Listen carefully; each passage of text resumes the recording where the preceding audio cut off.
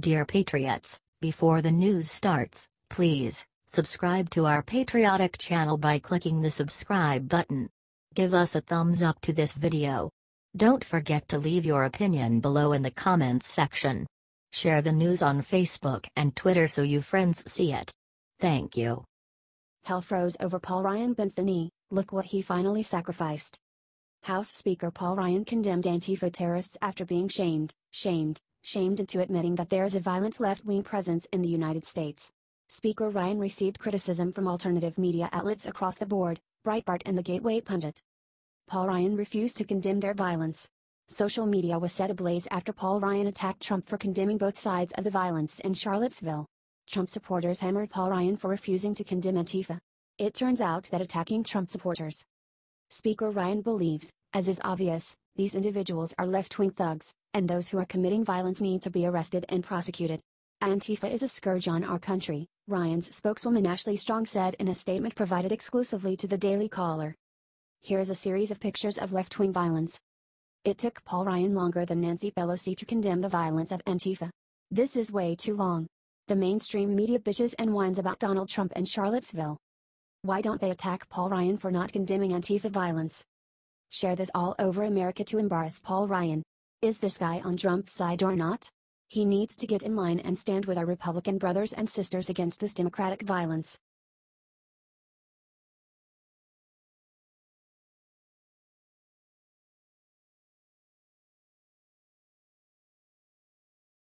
Yikes Harvey just shut down gas supply to these states is one of them yours. The devastation from Hurricane Harvey has been tragic for sure. It continues in Houston and surrounding areas, so we should continue to pray for those people. But the problems from Harvey are not contained just to Texas. There's flash flood warnings in Tennessee for the next two days. And now, a major pipeline is shutting down. This will happen today. The Colonial Pipeline supplies over 100 million gallons of heating oil, gasoline and aviation fuel to the East Coast every single day. And it's about to be completely closed. What's worse is that two East Coast refineries have already run out of gas. What does that mean to you? You better go fill up. Reuters reported. I've never seen a situation this bad, said one East Coast market source. And imports can't make up for this, this is going to be the worst thing the US has seen in decades from an energy standpoint. Not wanting to start something crazy, but you know what's about to happen, gas prices will climb, and that's if you can find gas. I expect to see those signs as I pull up to the pump, the ones that say out of gas. Which is never good if you're trying to get to work, or get you kids to school. Been there, done that. It's good to be prepared, so I recommend filling up now. But please don't be greedy, y'all. Leave some gas for the next person. We are all Americans and we are all in this together. H. T. The Hill.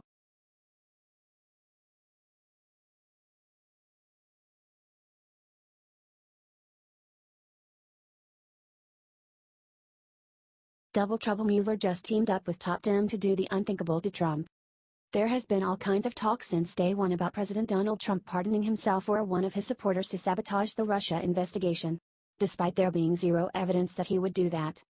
Despite there being zero evidence that he would do that, Special Investigator Robert Mueller just found a surefire way to rip the presidential pardon away from Trump. Mueller is teaming up with the New York Attorney General to make Trump unable to use his presidential pardons. The reason this will work is because Trump, a New Yorker, could possibly be charged with a state-level crime by Attorney General Eric Schneiderman. Since presidential pardons only apply to federal crimes, he would be unable to use them. Mueller and Schneiderman have already been sharing evidence and information with one another while running two parallel investigations into the president. If this seems like a shady tactic, it absolutely is. Still, it's important to remember that none of these little tricks of legality will amount to anything unless they can find real, indisputable evidence that Donald Trump rigged the 2016 elections with Russia. What this does do, however, is give Jeff Sessions or Rod Rosenstein another reason to fire Bob Mueller for his clearly fishy tactics involving many top-level Dems including A.G. Schneiderman and seven other big Democrat donors he hired on to be lawyers for the investigation. Is it time for Robert Mueller to be replaced as special investigator into Russia?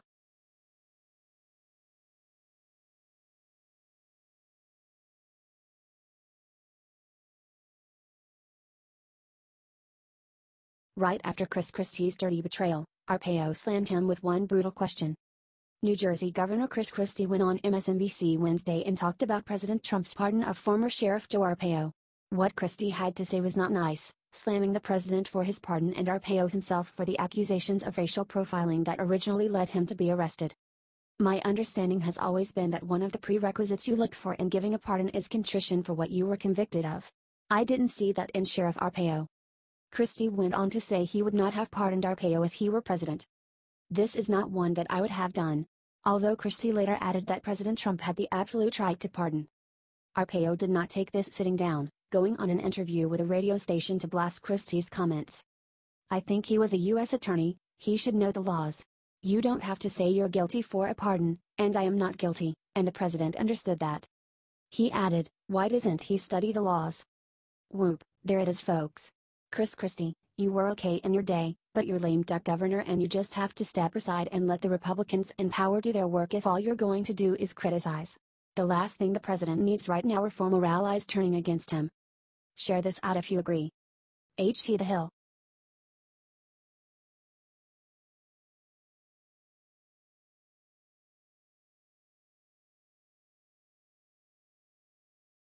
Right after siding with Trump, Dems did something sickening to Senator Feinstein. It was pretty shocking to everyone when Senator Dianne Feinstein of California decided to come out and defend President Trump in an interview yesterday. Senator Feinstein figured it was going to be no big deal when she told the audience she thinks Trump may end up being a good president so wrong.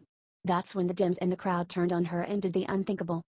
The ultra-liberal audience booed Senator Feinstein for sticking up for President Trump. They are acting just like conditioned dogs now. When they hear anything good about Trump, they instinctively react with outrage.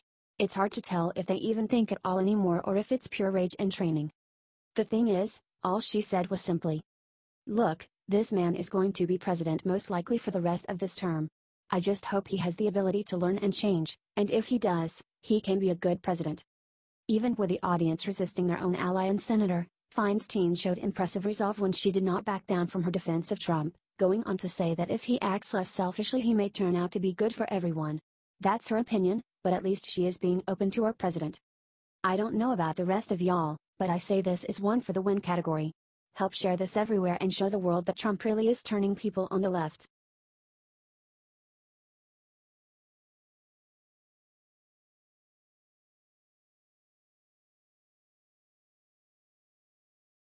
The FBI will expose Hillary's dirtiest files if everyone does one simple thing now.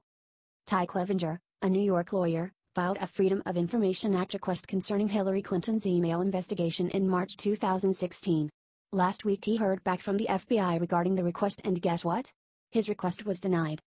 Why was it denied? According to the FBI, not enough public interest was shown to justify completing the request. The FBI says that it will only release records from files of former investigations if the subject directly consents, is deceased, or if there is strong public interest in the case. FBI Records Management Section Chief David M. Hardy bolstered the last claim, telling Clevenger in an email that you have not sufficiently demonstrated that the public's interest in disclosure outweighs personal privacy interests of the subject. And also, it is incumbent upon the requester to provide documentation regarding the public's interest in the operations and activities of the government before records can be processed pursuant to the FOIA. Now, considering that the Clinton email investigation was a major scandal during the 2016 election that captivated a good part of the electorate, I'd say that seems like public interest to me. Clevenger was specifically looking for documents that were filed after referral to the Department of Justice from former House Oversight Chairman Jason Chaffetz, who asked the DOJ to investigate and determine whether Secretary Clinton or her employees and contractors violated statutes that prohibit destruction of records, obstruction of congressional inquiries, and concealment or cover-up of evidence material to a congressional investigation. Clinton was found to have used a secret, non-government, server during her time as Secretary of State. The FBI determined that she did not deserve charges because she allegedly did not know the dangers of having a secret serve, even though SGD put national security at risk. Clevenger said of the ruling to the Washington Times. I'm just stunned. This is exactly what I would have expected had Mrs. Clinton won the election, but she didn't. It looks like the Obama administration is still running the FBI. How can a story receive national news coverage and not be a matter of public interest? If this is the new standard, then there's no such thing as a public interest exception. A petition has already been started to refute Hardy's claims and prove that there is interest in the Clinton email scandal sign in here. Something is seriously up with this FBI investigation if they think there's no public interest. Sounds like a lame excuse. Luckily, we have people like Ty Clevenger willing to get to the bottom of it one and for all. Get on that petition and sign away, Patriots. HT Washington Times, Fox News.